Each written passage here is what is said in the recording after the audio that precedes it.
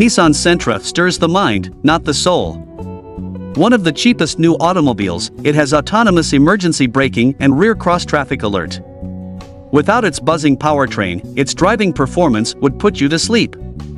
Front-wheel drive and a 149 horsepower four-cylinder engine with a CVT power every Sentra.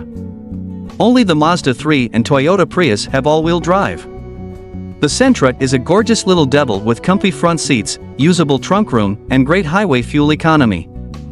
The Civic is more enjoyable to drive, but the Sentra is cheaper. Nissan redesigned Sentra.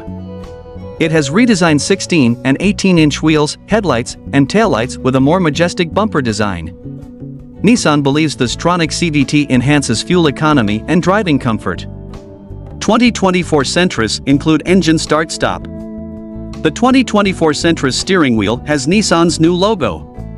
The Sentra S has many of standard equipment, but upgrading to the mid-level SV model for adaptive cruise control and dual-zone automatic climate control doesn't cost much and is worth it.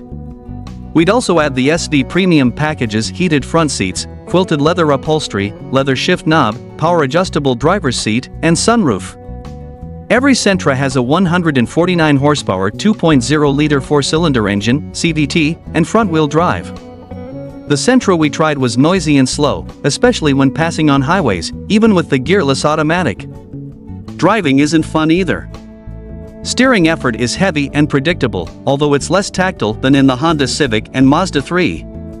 Nissans have independent rear suspensions and 16, 18-inch wheels. We drove the largest set, which made the ride firm and loud. The Sentra is comfortable for daily commuting and weekend excursions. Its brakes impressed us.